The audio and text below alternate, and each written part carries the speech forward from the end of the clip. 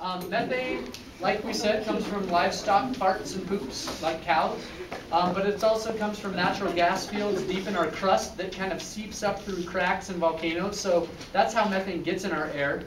Okay, and so since we're studying air, it's nice to experiment with methane. The same stuff comes out of these gas valves. Okay, so we're gonna let some methane out, and again, we're gonna trap it in this sudsy bucket of soap bubbles.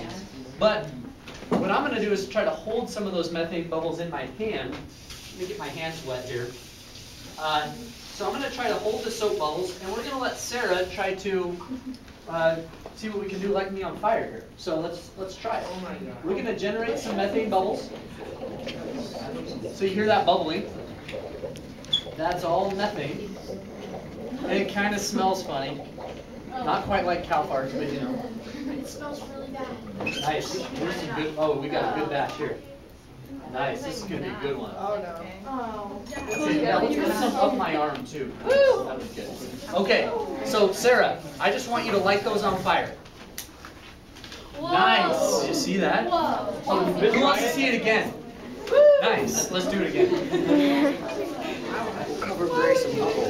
All right. One more time. Nice. That is super fun. I like it.